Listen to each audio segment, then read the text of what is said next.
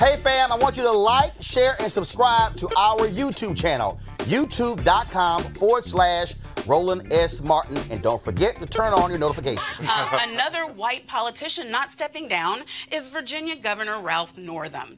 He, of the racist pictures on his medical, medical school yearbook page, his wife Pam Northam now is in hot water for handing out raw cotton balls to school kids on tour of the governor's mansion. She's apologized, of course, but these two stories point to a problem. Some white people who should know better have no idea what the N word or the whole concept of cotton means to us.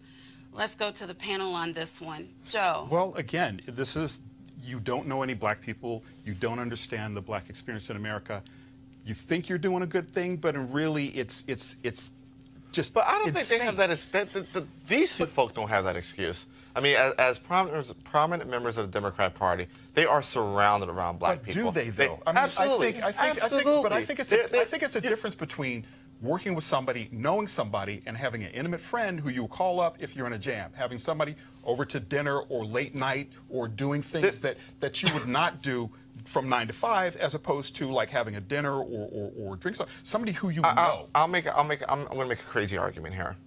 I think it's arguable if Delegate Lisanti has done what what uh, Northam's wife did. Mm-hmm. Maybe can maybe give her a pass because of the way Harford County set up and structured.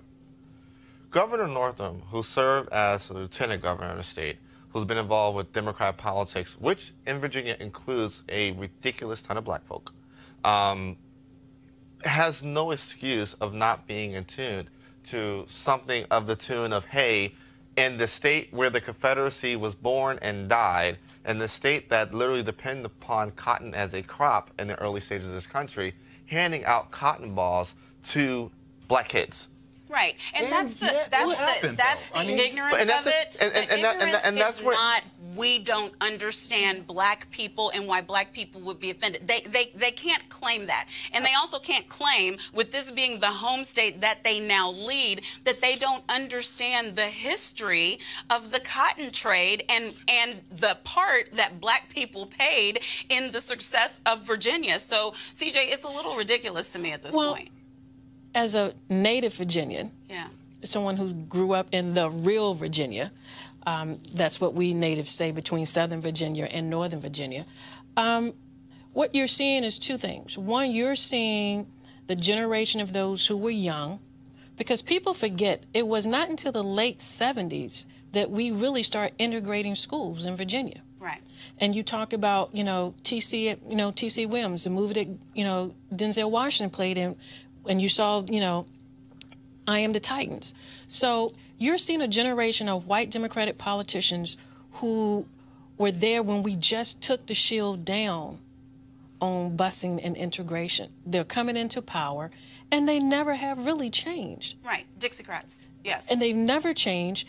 But you also are seeing this piece of black, not just Democrats, but just black Virginians grapple with our place in society and, and how our response should be because we were the state of the Confederacy. It is where the Civil War ended in Richmond and Petersburg.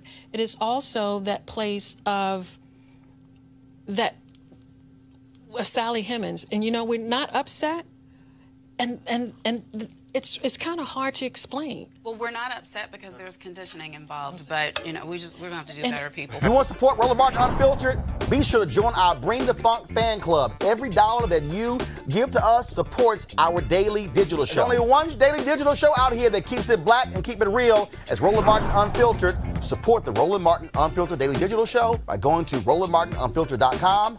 You can make this possible.